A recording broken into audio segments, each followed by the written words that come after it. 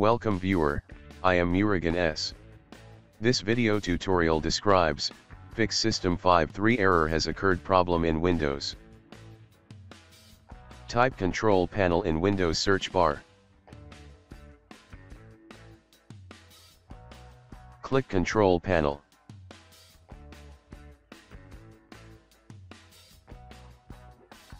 Select to category. Click Network and Internet. Click Network and Sharing Center. Click Change Advanced Sharing Settings. Click and expand Guest or Public. Check Turn on Network Discovery. Check Turn on File and Printer Sharing. Click Save Changes.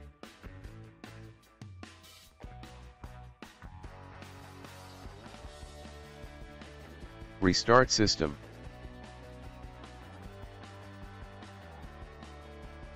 I hope this video tutorial helps to you, please like, share and don't forget to subscribe my channel, thank you very much, see you next video.